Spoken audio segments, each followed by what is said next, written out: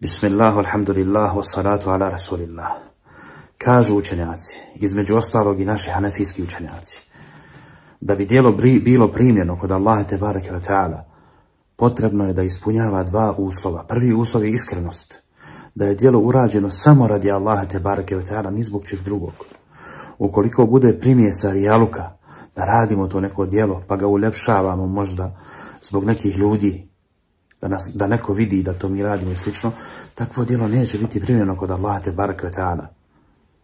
Drugi uslov nakon iskrenosti jeste da je djelo urađeno u skladu sa sunnetom poslanika sallallahu alaihi wasallam. To jeste da ne radimo nešto što poslanik sallallahu alaihi wasallam nije radio. Da mi izmislimo nešto novo.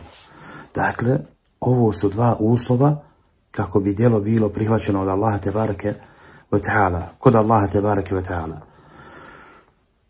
Jedino ovakvo djelo će nas učiniti sretnim, otvorit će nam prostranstva sreće, zadovoljstva i naša duša će biti smirana nakon ovakvih djela.